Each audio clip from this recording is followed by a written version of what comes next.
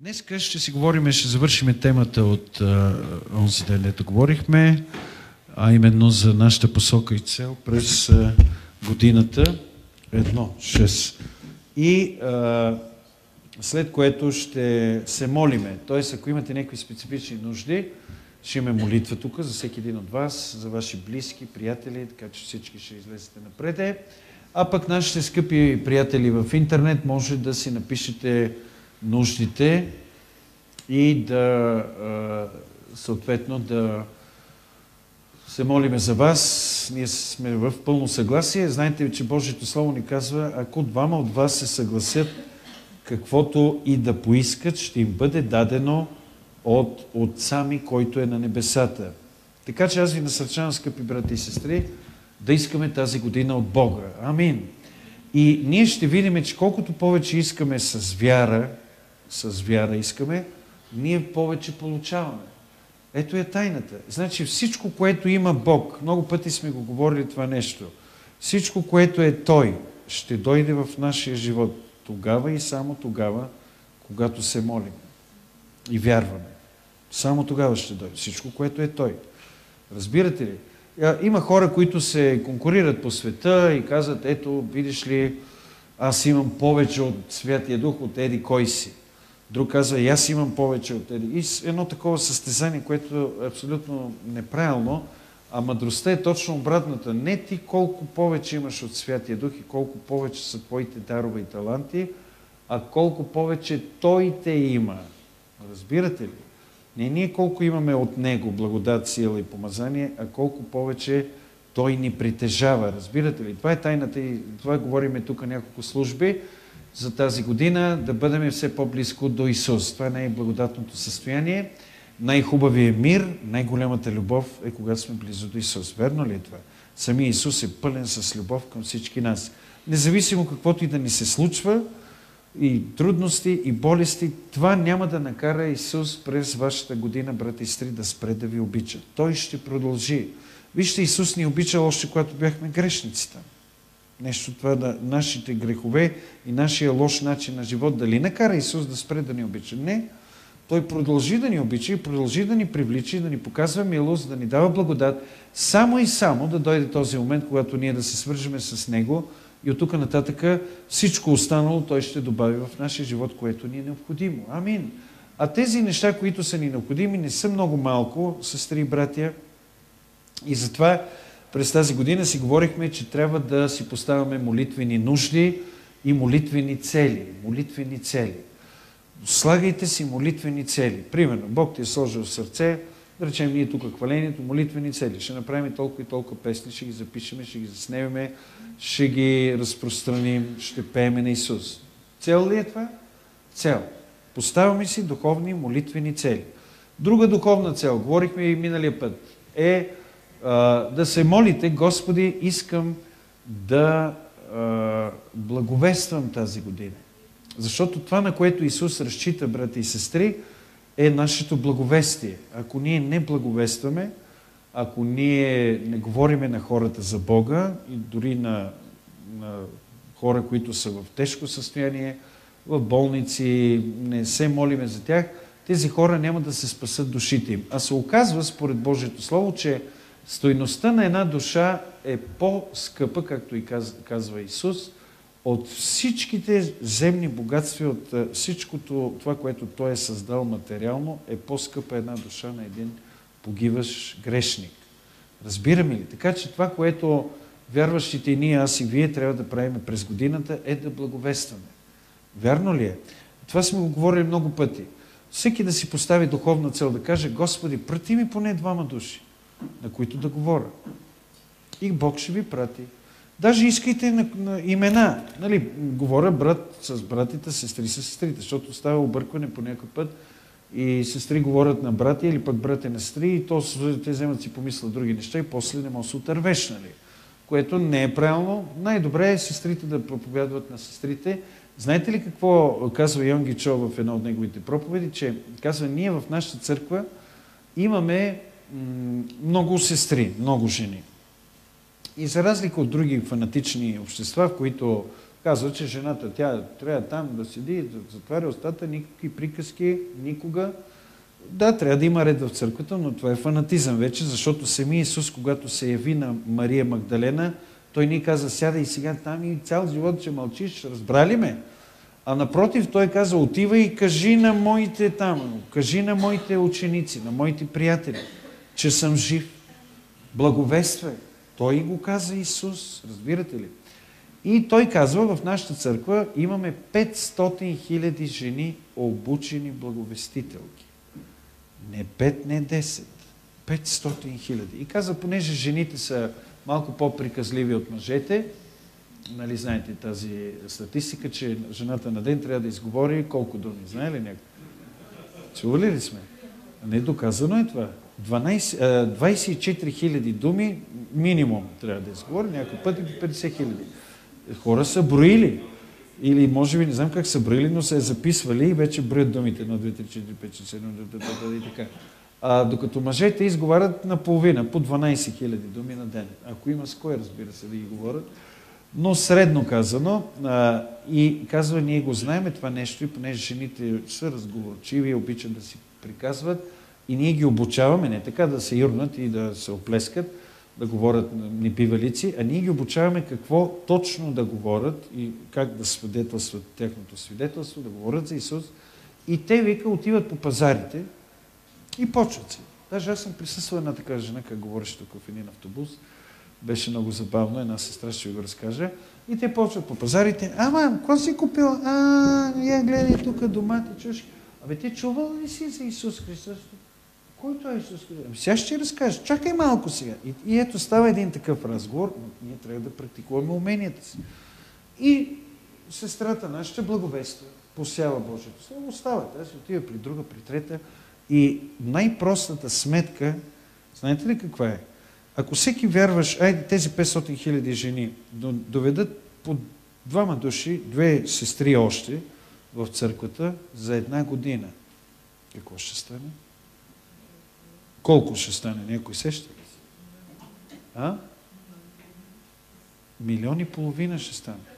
Да, точно така е. А това трябва да се направи от всички нас. Тук даже, на наша почва. И ако всички са мъдри и го предприемат като нужда и като цел от Господа в тази година, имайте преди, че Божието дело много ще се увеличи в цялата страна. И това трябва да се говори на всички църкви. Даже най-простата сметка е, че при 2 милиарда и половина християни, ако всяка година тези 2 милиарда и половина по двама души доведат, не по един, по двама, или не по 200, по двама души да доведат. Можем ли двама души да доведем при Бога? Вие, децата, можете ли да ще доведете? Хващате ги за ушите и това е. Имаше един брат от Бургас, вижте какъв случай. Каза, моята жена беше вярваща много и ходеше на църква, там 50 на църква Бургас. Аз вика, по едно кило ракия всека вечер. Наливам. И работил в корабния завод там в Бургас. И вика, понеже па нямам пари, всичко съм изпил, измислих план, казва почвам да им говоря на колегите за Бога, и им казвам, абе, вие вярвате ли в Бога? И те, не, не, не не. Абе, я повярвай. И им говоря, аз не вярвам. Викам, аз им говоря на Бога с определена цел. И им казвам, искате, моята жена ходи там при едни, които вярват. И те, а, и какви са тия? Да не са секта? Не, не, не, много свестни. Искате ли да ви заведа? Ми, айде, добре, заведени. И това е ден за служба. И аз ми казвам, ма само едно условие имам. Какво условие? Да ми купите една, едно шишенце ракийка преди това, преди не след това. И те, е, нали си вер? Е, добре, или ще купим, нали? И вика, толкова народ аз доведах църквата, но те си близат църквата, аз седа и, и пия ракия, нали? И Бог направи истински случай. Това сега е пастора на църквата на Айтос, брат Стоян. Вижте какъв случай случва. Един ден казва моето дете, нашето дете, аз довеждам хора при Бога, аз въобще не вярвам. Нали? Жена ми викам, тя побъркана, тя се ходи там, ама не ме интересува, напивам си с безплатна ракийка, но един ден детето ми се разболя много на умиране, до такава степен, че направо се видяхме чудо, че ще умре. Носиме го в църквата, Бургас, молят се пасторите, доста, един, два, три месеца. И Господ направи чудо. А през това време жената ми вика, покай се, защото заради тебе това се случва. И той, добре, се покай, той се покайва. брат Стоян сегашния и после вече Бог му се открива, той стана пастор и сега е пастор на Пресвятна църква в Айтос. И това е неговото свидетелство. Ще ходим някой път на гости, той е чудесен. Брат пълен с такива свидетелства разказва. И какво искам да ви кажа? Ако цялата църква в България предприеме нещо такова, сестри и брати, само че без ракията, нали? Ракията да забравяме. Тоест, говориме на хората за Бога, на колегите. Сега, разбира се, не може да говорите на сила. Трябва да, да направите така, че те да питат, да, ви, да им е интересно. А не на сила, както някакъв път ние си издекламираме всичко, така и така ще стане, това е това, това, това, това, покай се, отиваш пада и чао, нали? Това е нищо. Това е, е благата вест да я повярва някой, това е веста на любовта на Исус към нас. Това е, това, ако може така да се каже, това е любовна вест между Бог и нас, човеците. Ти трябва по най-любвеобилния начин да я говориш на хората, не е ли така? Да я споделиш, за да можете да повярват. И един друг смешен случай в София, веднъж имаше една сестра Ценка, тя и сега я има, и тя много напориста и а, решила, ще благовества наляво и надясно. Възрастна жена. И бяхме някъде там нещо на молитвена група и тя беше там и се тръгваме и автобуса се качваме на Орлов мост, посока Борово. И сестра Ценка видя едно место там, до някаква възрастна жена, баб седна на местото и ние си седим и се държим в автобуса и обърна си и почва. Ама, какво правиш, ме? Откъде си ти? И бабата, и тук съм от София.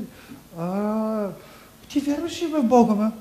Не, не вярвам. Ти знаеш ли, че има Бог? И като почна до края, до последната спирка, бабата само дете се разка, поплака там, нали? Благовества, благовества. Един друг случай такъв имаме, веднъж се качваме на, отивах на работа някъде си там, вече забравя къде, седмица сутринта на автобуса, това беше голямо чудо, някъде 98-9 година, и се държа, нали, такава тъпканица. Седмица сутринта е така, е, е така седиш, нали, държи се в Софийски автобус и всичко мълчи сутрин, всеки кисел, никой нищо не говори, шапки, зимно време, такова студено. И по едно време чувам един познат глас, викам, а този го познавам, чувам от напред. Някой говори за Бога в 7 сутринта. И се загледах и видях един мой познат, който тук от Македония, той е наш брат там и даже посещават една църква там в, в, в Охрид, беше ли в Штип, няма значение. И, и дошъл, понеже жена му е българка, пък той е македонец, и той е дошъл на гости тук при роднините, някъде отива 7 часа сутринта и 7 часа сутринта благовества на един военен с фуражка, с пагони. Човек отива на работа и той му вика, абе, е много тежък стана живота. И войн... е, да, да, така е тежък. Абе, ти знаеш, че идва второто пришествие. И я какво второ пришествие? Абе, има го. И той благовества през цялото време. Целият автобус слуша, що ще ще, ще всичко се сгърчили. Никой не казва нищо, мълчи и слуша едно благовестие там. Тоест, аз не викам да тръгнем по автобусите, но трябва да, да си поставим за цел, сестри и брати, да направим всичко възможно. Примерно, сестрите да доведат поне още 10 сестри тая година.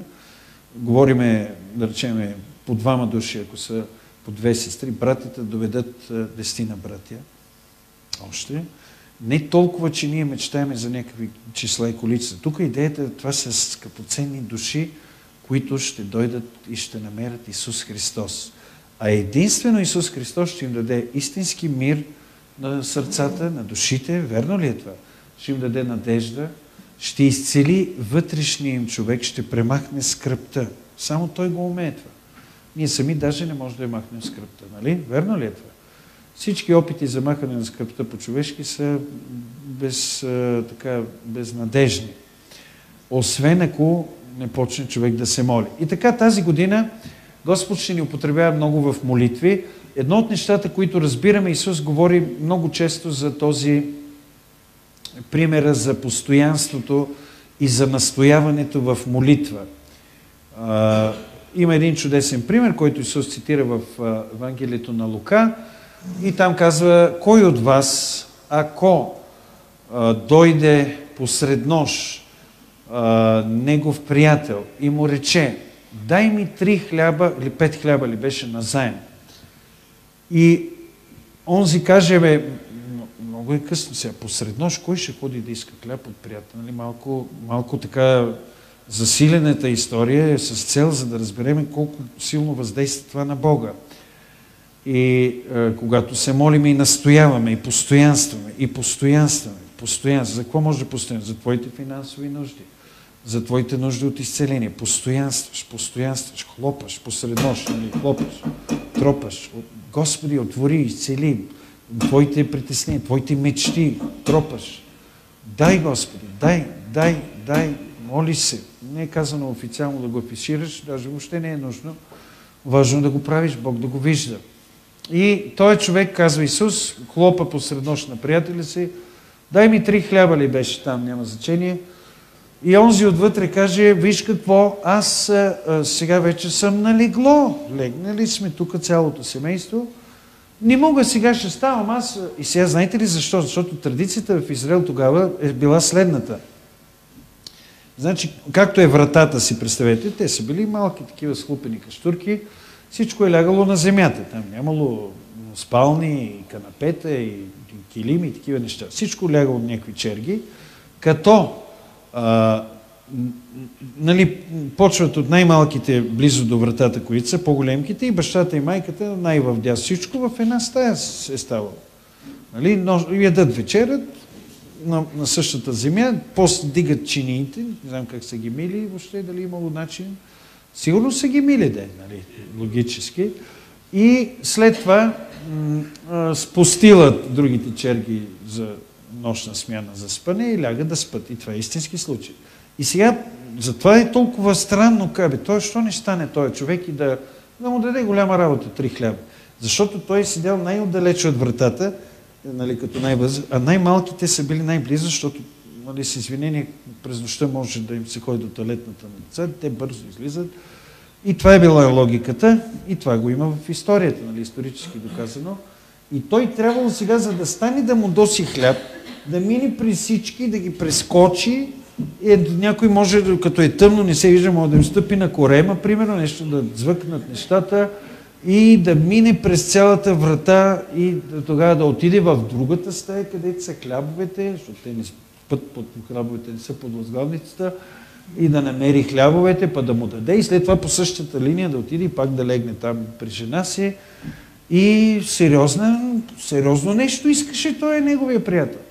Той му каза, не, не, ние сме на легло сега, какво искаш ти? Нали, това е нашето легло тук, на земята. Обаче он я настоява, дай ми три хляба, бе. Много интересно защо само хляб искаше този човек, нали. Много е странно това, защото сега нощно време, но както и да е, може би, това е била силата на тази история, Исус да подчертае. Исус каза така, че даже ако той не му даде заради това, че му е приятел. Нали? Приятели сме, но няма па да ти дам. Ай, отивай си и край.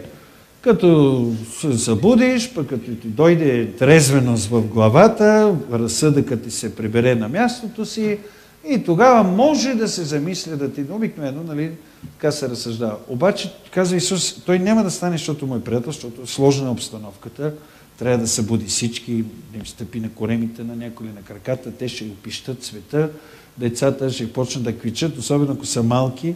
Представя си какво става вътре и събуди цялото семейство, не може да заспът след това, на другия ден са спящи на работа или на училище. А, каза, даже да не стане за това, че му е приятел, поради неговата настойчивост ще стане и ще му даде колкото му трябва. Разбирате ли тайната? И тази година ни чака такава настойчивост, братисте.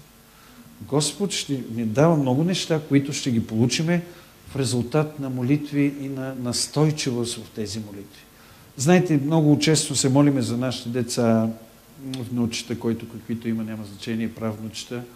Ами, тези деца имат нужда от нашите молитви. Верно ли е това? Защото има враг, който желая да ги отвлече от Бога, да ги отвлече от вярата. Как ще ги отвлече? Ние му знаем методите. Метода е като им пусне такива безсъвестни приятели или приятелки нали, там от компаниите и почнат едни други да се разменят там а, различни опиятни средства да пробват децата, защото било модерно. Ама знаете каква е гнусна мода сега идва? Сега с новия американски президент, моята страна ми каза, че той ще отпусне абсолютно точно обратното на Тръмп, който затягаше нещата, затваряне на хомосексуализма, на всичките тези извращения, премахване на хомосексуалисти от властите, техните. Он е бил точно обратно. Сега разпуска всичко. И тая мода ще дойде и тук си. И в училище. А, хомосексуалисти не ставаме ние. И децата са толкова беззащитни понякога. И затова вие, родители, трябва да им говорите. 100% им говорите. Това нещо ще залее света. И, е, и почват сега едни други да се баламосват. Тик-ток, мик-ток, там вижте ми снимките и това, онова. И за голямо съжаление е, има много дечица под голям риск. И то е само в периода те, докато позреят малко, докато станат малко по-мъдри, дано в този период по-малко бъдат а, а, така объркани от такива техни а, другарчета, приятелчета, от дявола, от медиите. Даже ви казах една статистика, че а, а, казаха, че в, а, вече в най-топ списания за мода и такива официални такива журнали съвременни, на първата страница са хомосексуалисти рекламират вече модата. И тази говорител каза, да, по нашата телевизия, ами сега какво да направим? Да знаете си вече, че това са нещата. И край. И сега ти имаш деца или внучета. Затова трябва много мъдро и много тактично да се говори по този. Даже да им се обясни какво е това. Някой от от децата ти не знаят какво е това. Ти, кога са се сблъсквали с такива извращения, да, да могат да знаят. Но това, за което ви казвам, че ние ще настояваме в молитва за тези деца. Поне ние не може да ги контролира всеки ден да върви с тях в училище, нали то детето се комплексира. Всеки ден с бабата начина заедно, тя да го пази, да не се греши там. Не става. Най-добре е да го обучиш, или с майка му или с баща му, най-добре е да го обучиш да само да се опази, но то трябва да има желание за да се опази. Не е ли така? Значи, за да му се роди желание, трябва да му се дават различни примери в живота от подобни случаи деца. Примерно, дете, което не е успяло и е станало в тия среди, виж какво се получи с него, виж какво стана и то детето си. Верно. А дете, което е било амбициозно, било е вярващо, да речем, успяло. И трябва да му се дават примери, за да може да се събудат желанията. Едно от нещата, които дявола прави, е той убива желанията в човеците въобще, така че те нито да се борят, нито да имат амбиции, нито да искат да постигат нищо. И да карат така живота, така и така изтича, ядат, пият, ядат, пият, ядат, пият, ядат, пият и умрат. И това е. И това е целта му. Тоест никакъв, особено по живот за Бога, за вярата, въобще там да не се изсещат. Колкото се може повече. Да, обаче душата на всеки човек, дори на децата, тя е с християнска насоченост. И душата винаги си търси Създателя. Да знаете, брати сестри, ние се молиме, Бог привлича душичките на тези нашите скъпи деца и рано или късно на църква при мама и при тате, да речем, или при баба и при дядо. А, аз съм такъв пример. Моята баба ме водила, аз като бях малък, ме води на църква. Нищо не помна, само две неща запомних. Това беше в църквата доктор Лонг, срещу Софийската опера. Но аз бях такъв, 10-8-10 годишен. И събрали се хора пълно, пеят песни. И ми хареса много, той е органиста, свириш и ги гледа, само гледах през цялото време. Кой ти знае, че един ден и аз ще свира нали, като него. И другото, което запомних, най-смешното, минава дарението си. И моята баба отвори едно портмоне, извади някакви стотинки, сложи и аз гледам. И това съм запомнил. Нищо друго. Обаче самия Святи Дух, който си бил там и той е имал намерение с тебе и с ние всички сме така. И той има план да те употреби и да те доведе. Идва момент, когато това, което майките и бащите са посяли в децата си спрямо вярата, идва момент да го поженат. Да знаете, има стих, който ни казва притчи, Възпитавай отрано детето си в подходящия за него път. И то не ще се отдели дори когато остарее. Разбирате каква сигурност. Така че вие, майки, бащи и родители, възпитавай го си. Сега ти ще го възпиташ, то не е цял живот да го възпиташ, докато може. Като в един момент вече не може, то вече знае всичко, както и ние мислихме, че знаем всичко, да, ама не знаехме всичко, нали? Но до тогава можеш да го възпитаваш говоримо, с любов, с търпение, говоримо добри думи първо, нали, защото света достатъчно ги обвинява и ги държи виновни. Но така или иначе ги привличайте за Бога, говорете им за положителната страна на пътя в Господа, а не негативни плюки и глупости, които обикновено се разпространяват лицемерно винаги зад гърба, което значи, че са лъжи. И, и децата ги поемат тия само и само да се оправдаят защо не ходят на църква. И ти им казвай, виж какво, не е целта да ходиш на църква заради хората. Те обикновено търсят петно в хората. И хората са им петнясали, значи те са много лоши. А да ми ония там с дрогата, добри ли са? И с а, линийките там, нали? Линийките, дето в носа там. А, те да не са добрите, мая. Объркахме малко ценностите.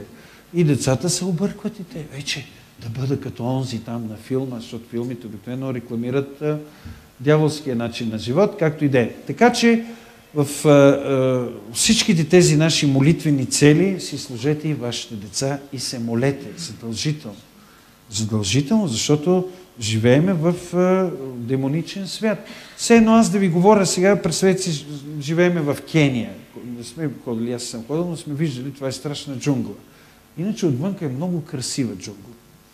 Тървета, бананови и такива палми. Виждали се бананови палми? Ини грамадни с едни листа, като ушите на слон са листата на банановите палми. И вътре е пълно в джунглата с страшни животни. Скорпиони, от тия тарантули, такива паяци, такива грамадни паяци. Един паяк, като ти падне от някой дърво и ти си умрел за секунда. Иначе джунглата е красивичка всичко. Обаче вътре какви тарантули има. Е така и света. И света на нашите деца е по същия начин.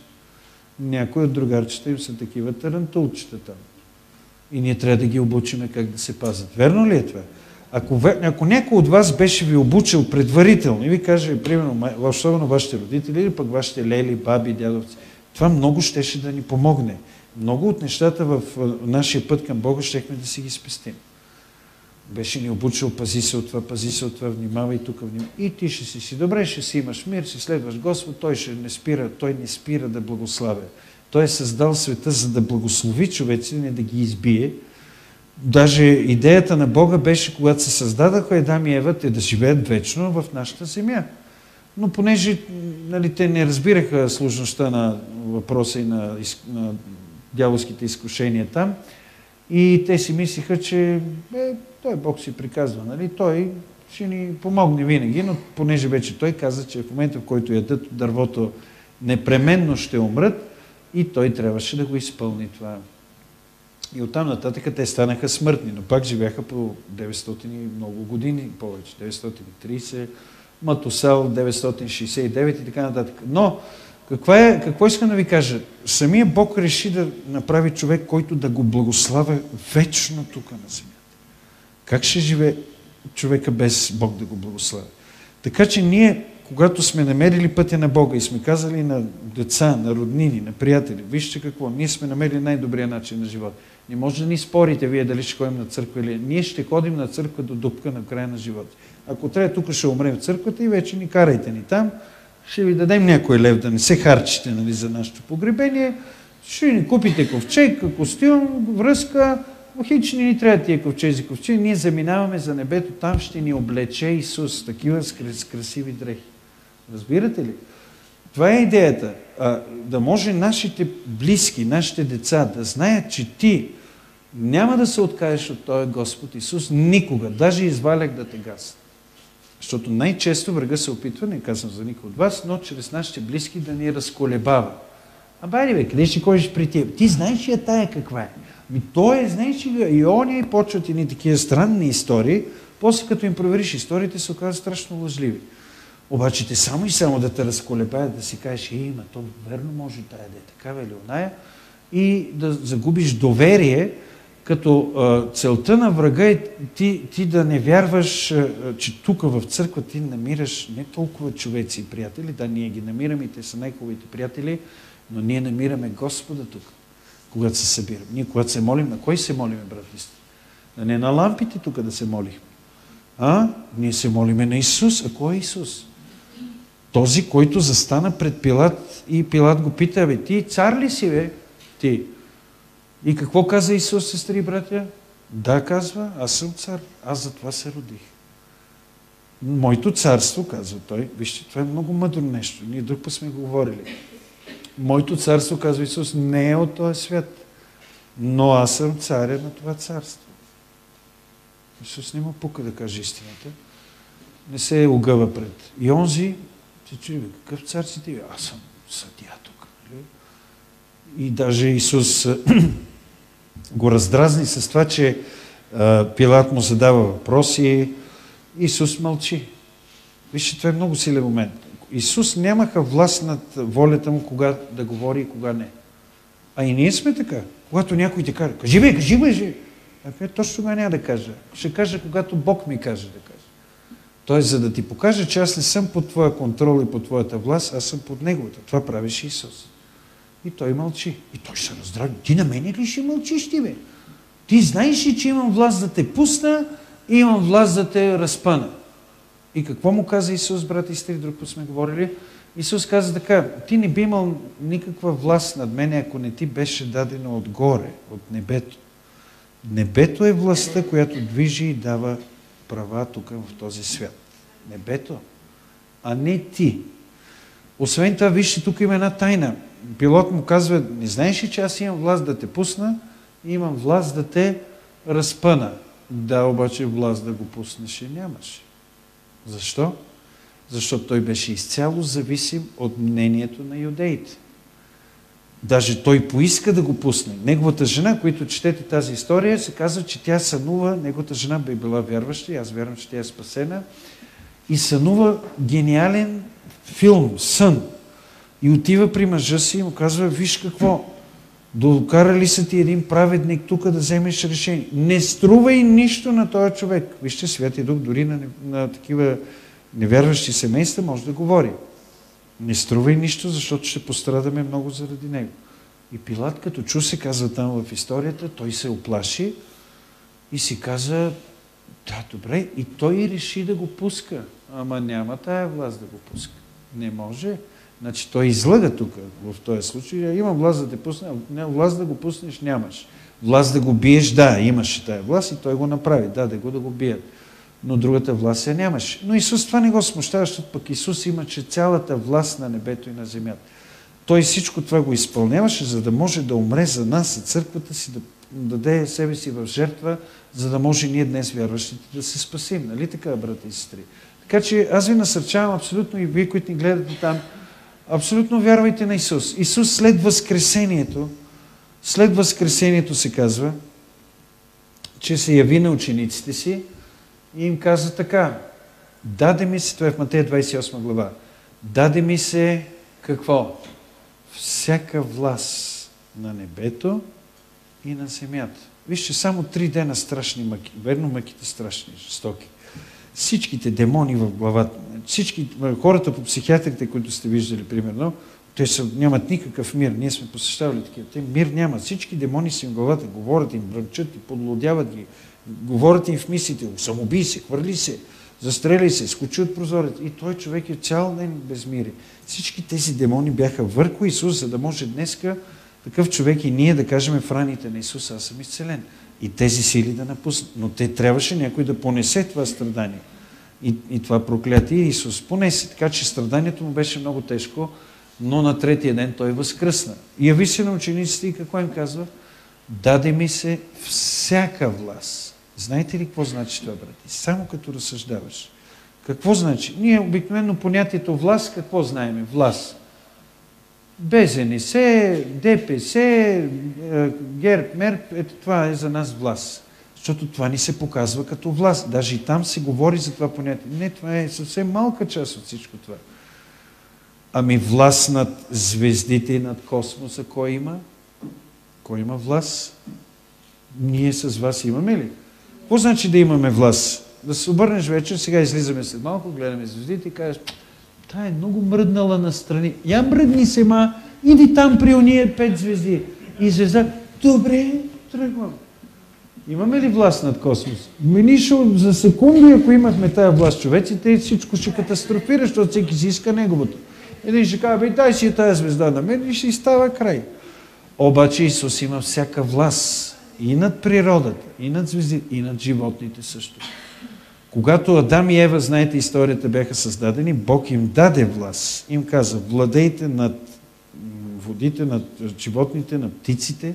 Те имаха власт на птиците. Знаете ли кое е да имаш власт на птиците? Представяме ли си какво е? Това означава, примерно, минава штъркел. Штъркел, не знаем какво е. Ти му кажеш, ако му знаеш името, да речем, кажете някакво име, такова штъркелово име. Примерно, нали? Пенчо. Пенчо, айде да не е Пенчо, да обидим някой човек, но някакво име на птица. Как им казват на птиците? А, не знаем. Штърко. Штърко, айде идви тук да едеш сега. И той лети, усети властта, се обади, той каца в дворът и почва да еде. Това значи да имаш власт над птиците. Адам и Ева го имаха това нещо. Иначе те как ще владеят толкова животни и овце? Кой ще ги слуша овцете? Па козите хич. Знаете ли козите какви са диви и груби? И Ева, ако е била пази пасе овце и кози, и тя ще си скъса нервите, цял живот ще им пасе, а те са имали такъв власт, въпреки че загубиха в последствие. И, и това е било власт, която да упражняват. Но днеска властта в цялото човечество, в целия свят, на всяка природа, над друго над какво? Над вируса има власт Исус. Защото вируса, вируса упражнява вид власт на целия свят. Избраха доста хора. Това е вид сатанинска власт. Но над тази власт има друга власт и това е властта на Исус. И ние като се молиме на Исус, и ние настояваме, ние постоянстваме както Он е човек, тропаме. Три хляба, Господи. Вирусите да си ходят. Постоянстваме, постоянстваме. И каза, той ще стане този човек да даде, защото е постоянствал. Или с други думи, тази година постоянствате в вашите нужди, във всичко. И ще видите Господ от небето, който е, имаш цялата власт на Вселената, над космоса, над Луната. Кой има власт, брати и сестри? Луната. На времето имаше един много интересен филм, не знам дали си го гледали, казваше се а, Брус е могъщи, нещо такова, някакво име. Филма беше много интересен, защото е свързан с вярата. Брус, да. Ако имате го, изгледайте. Ем комичен, ем много мъдър. И той човек реши, свърза, Господ му се яви във филма. Въпреки, че е режисиран, само го предавам, може би някой го е гледал от хората, които не гледате, но го казвам като един интересен пример, за да разбереме за властта на Исус. И Господ му се яви, понеже той се е недоволен, се мърмори, се... и той каза, добре, за малко ще си размениме ролите. Аз ще съм в твоята роля, ти ще си в моите. И той, да, съгласен, аз ще съм Бог, чудесно. И сега те така го беха режисирали, че той се едно вече в един офис, той вече ще изпълнява ролята на Бога. И изведнъж, направен на компютъра, чува молитви от цял свят. И почва. Моля те за сина ми, моля те за дъщеря ми, моля те, нямам хляб, Господ, дай пари да си плата тока. И, и, и почва, той, чакай тук да помогна. Там и Бог му даде и власт в известен смисъл. Той е лудна, този човек. Той не може да чуе само един до края и като почне да тия нужди бръмна, той ще, ще да откачи. Но се стигна до един момент, когато реши да упражнява се едно всемогъщата си власт, като Луната почна да я дърпа, не знам дали го помните. И Луната дойде, о, и той каза, леле, край, ние ще се самоунищожим по този начин. Тоест, властта на всички тези неща единствено само може Исус да управлява, защото Той е най-така тук, най-умен. Верно ли е? Ние човеците въобще не сме създадени за закон. Ние управляваме нещата, които Бог ни е дал. Управляваш дома си, семейството, управляваш си автомобила, управляваш си живота съответно слагаш си цели в живота и това ти управляваш така живота си, за да бъде за благословение както на тебе, така и на останалите. Но други неща чак толкова не са ни дадени, а и не е добре, защото човека е достатъчно, в повече случаи не е достатъчно грамотен и той може да злоупотреби. Разбирате ли? Аз ще ви кажа едно истинско свидетелство от квартал Христо Ботев се случва преди години. Сега му напомня Святия Дух. И там, вижте какъв случай. Някакъв си, не му помня името, човек, който а, той разказва после, той не го разказа лично, а, той а, е бил от ранга на някакъв мафиот там, местен, и много люд, всички ги тероризирал страшно. Къщата, в която живел, два-три етажна, той живел на най-последния етаж и вижте какво правил. Нали, човека ни го разказа в, църква Зъбчето. Това нещо беше уникално свидетел. Всички ревем и плачем. Но, преди това какво се случва? Вижте му живота. Той ги е тероризирал всички там на халата Христо Ботев. Мафиот на дудко, с две думи. Нали? Прави се на много важен, нали? но за Господа такива много лесно, както с една ножица се отрязва пръчка от лоза, така Господ трък и може да те отреже. Но, както и да е това, и какво е правил? Казва, толкова лош бех с моите домашни, а те, примерно, жена му, децата му, той въобще не ги интересува звяр. Живее на последния етаж, представете си дво-три етажна къща, и вика, напия се, прибера се, посред нощ пиян. Те всичко легнало да спи и той долу в хола. Ставайте всички, пали лампите. И те, кой се? Мирно тук ги строявам. Падни почна да ги командора и те, който не слуша, той ги пие. Отвратителен звяр. Тормози ги и те, аре да си лягаме. И там дори децата му, бе, татко, стига толкова, момчета. Няма стига тор, тормоз с години, с години, до толкова търснало, но не се разбира от дума и край. И сега какво се случва? Един ден, както си изпял, прибрал си пак мъртво пиян на последния етаж, а, и както си спи, изведнъж, понеже имал тези роднини, от някои от тях са вярващи, ходени на църкви и се молят за него. Нали, с малко да му дойде акълъч, той е много зле. И един ден, не му помни името, но това сега този човек още е жив, може би вече много възрастен, но ще видите каква промяна се случи. Един ден, а, както се спи вече един-два през нощта, и някой го бута по ребрата. И той мисли, че жена му ли дошла и почва да мака. Ай, бега тук, нали, размаха. Кога отваря очите и вижда Исус в стаята. Му се явява в цял раз. И той казал, О, Господи, ти си много хубав. Да, защото Господ наистина е много хубав. И той, Исус много сериозен, нали, обаче, само седи, той го вижда страшно явление и до такава степен се впечатлил и му казал, обаче, понеже той е плътски човек, стария начин, той вижте, вижте каква молитва измисля. Господи, ако ти... А, той даже му казал Исус, стани, покай се, аз съм Твоят Господ, покай се и повярвай в мен. Това е едно изречение. И той ми ако ти си моя Господ, а, що не вземеш сега, още тая вечер, всички пари от банките на Нью Йорк, на Уолл Стрит, да дойдат у нас. Това е съвсем сериозно. И вика, когато му казах това на Исус, и той хоп, и тръпна се изчезна. Аз го обидих. Защото той вика, аз бех толкова тъп. Какъв прос. Той го каза това в църквата, ни го разказа. И вече, когато Исус си отива, него му станало мъка. Сега, как да го върна? Това да не е да пуснеш лампата да загасиш. Как да го върна? И се чудил и коленичил, изтрезнял всички ръки, светрели за секунда от главата му, изтрезнял и коленичил и почнал да се моли. Исус пак се му се явява още един път, след половин час и му казва, аз съм твоят Господ, покай се, повярвай, в благовестието и ме следва нещо от този тип. И той, да, Господи, ми да, банк, вече за банки не се спомена нищо. Покаял се човека и вика, коленичих и почнах такава молитва. Такава сила чувствам Исус. Огромна сила и той почнал да вика, говори на езици. О, да, да, да, И ти отдолу неговите... Айде, той памп ме разна, нали, откачи. Да, точно така. И викал, и вика, такава сила ме изпълни като електрическо ток, духовна сила – и вика на висок глас, защото той малко не му пукало в а, отношенията му. И по едно време вече затворил съм очи, не виждам Исус, отварям очи, вече Исус го нямам, пълен с сила. Викам, ей сега ще ги, тия моите ще ги направя вярващи. Слизам долу, пада лампите. Ставайте всички зрители. Ай, стига ти, бе, пак ли че... Обаче той сега с друга цел. Ставайте, бе! И вика, стоят и те по пижами си, представете, дестина души. Кажи, днеска станах вярваш. Айде, бягай от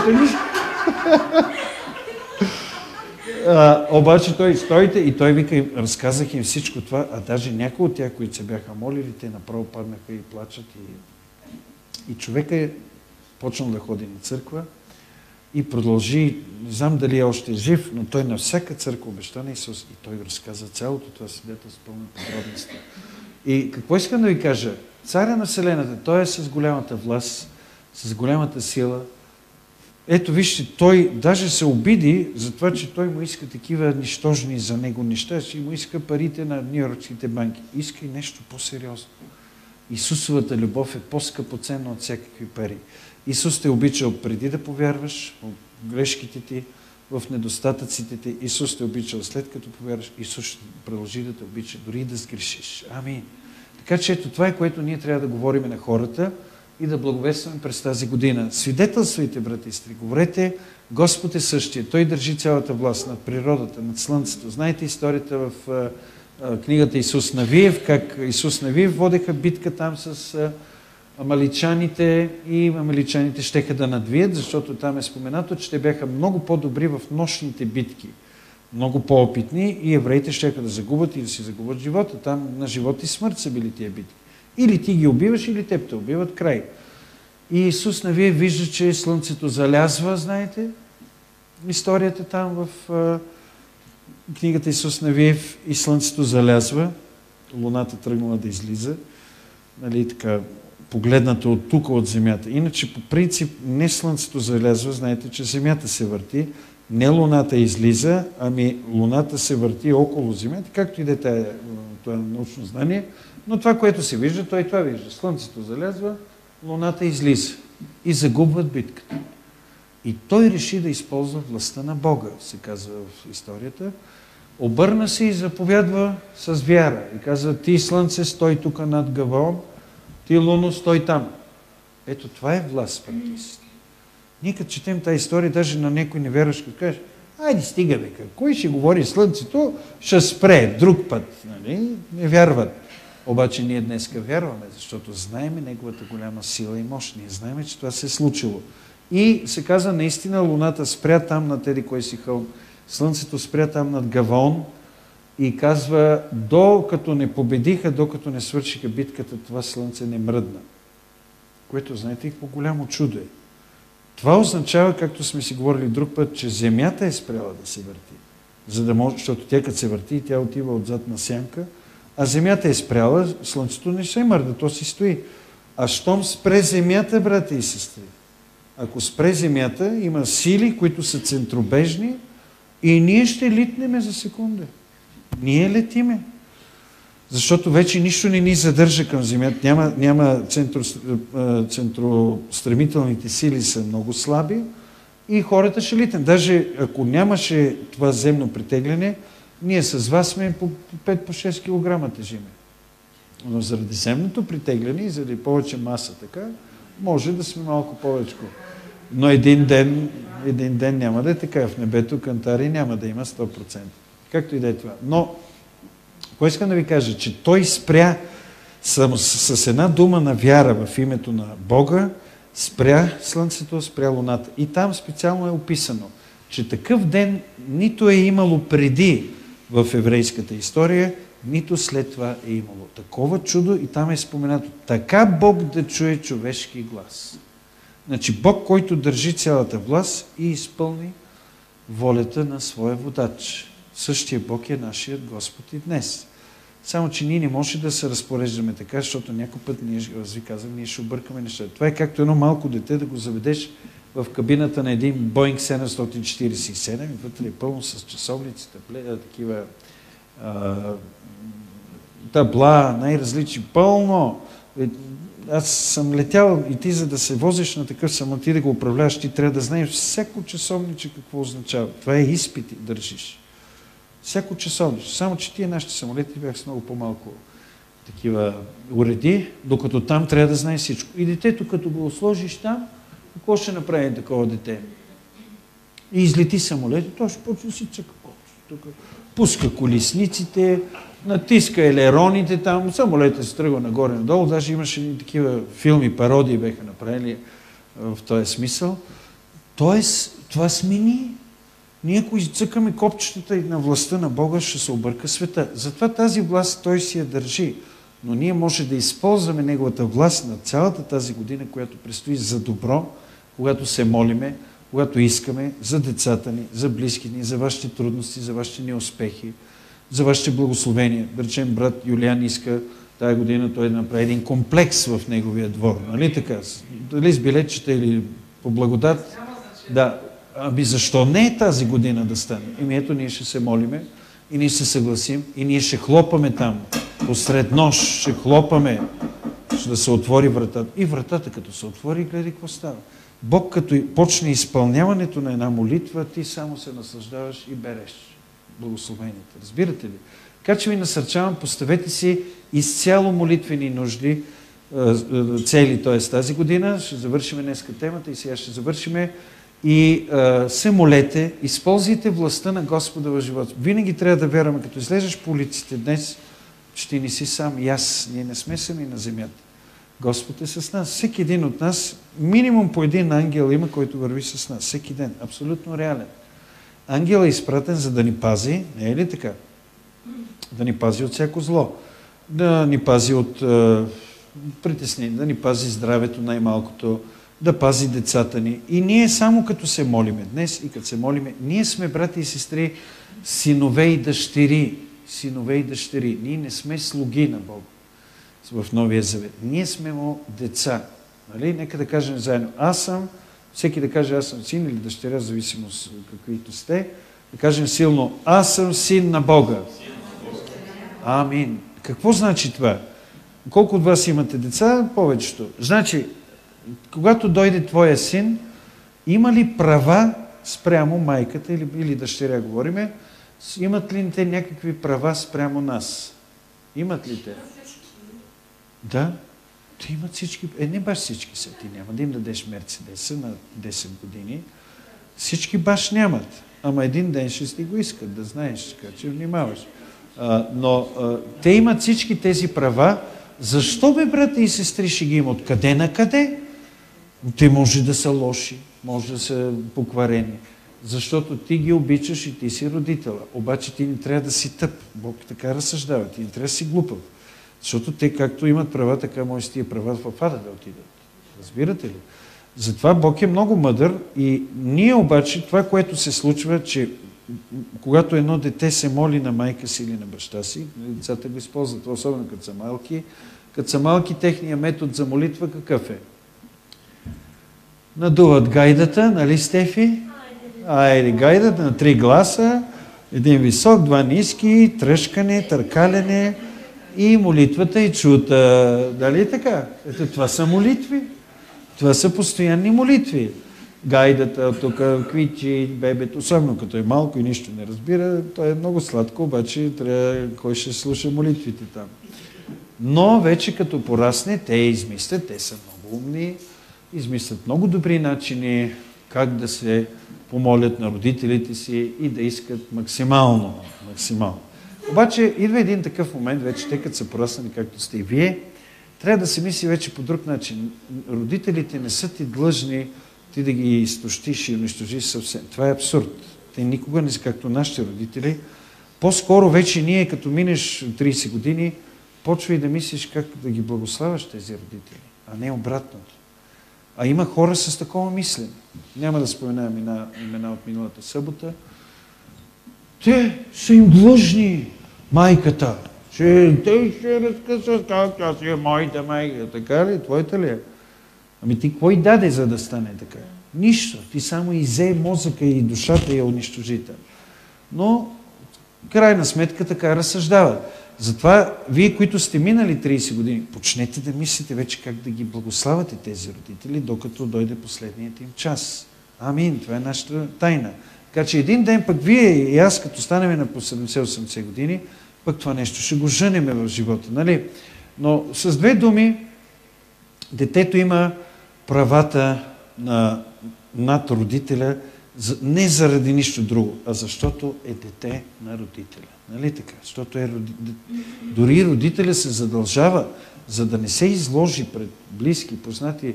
Нали, рядко са тези, които детето, даваме го там на държавата, да се троши главата, не ме интересува. Но това нещо се води грях. И то много сериозен. Това е голяма рядкост, но пак в нашата страна също го има. Но а, когато, а, нали, когато детето е с родителя, то придобива без да разбира правата, които родителя може да му даде. Какво значи права? Това значи власт. Власт. И детето почва да иска.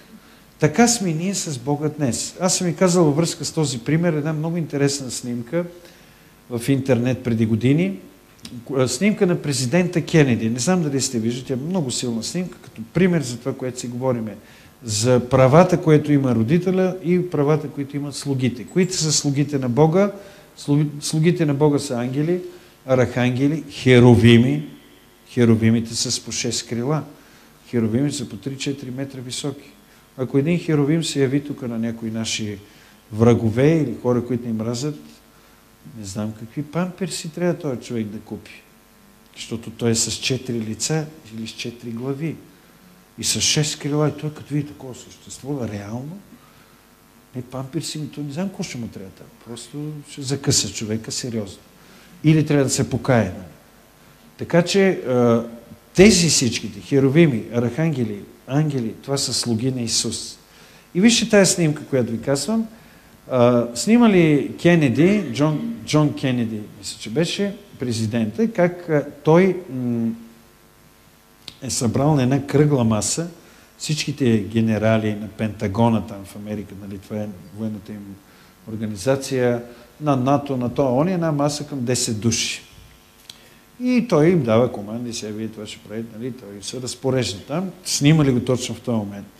Да, обаче същия ден, нали, понеже даже, даже може да намерите в интернет, има тази снимка, същия ден се оказва, че а, той изел на работа със себе си малкия си син.